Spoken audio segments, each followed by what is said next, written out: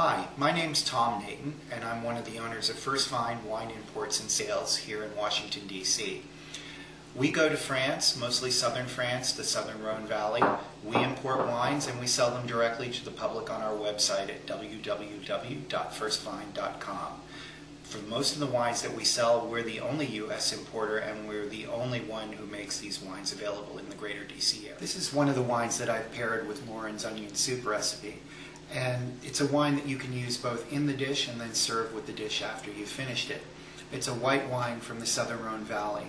Now you might not have had too many wines from this part of the world that are white wines because most of the wines they make are red and most of the wines they export are red. So white Southern Rhone wines in the United States are a little bit unusual.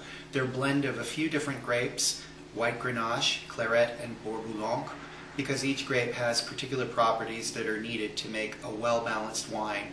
Acidity, citrus fruit flavors, and a little bit of a floral nose and a little bit of a floral flavor to it as well.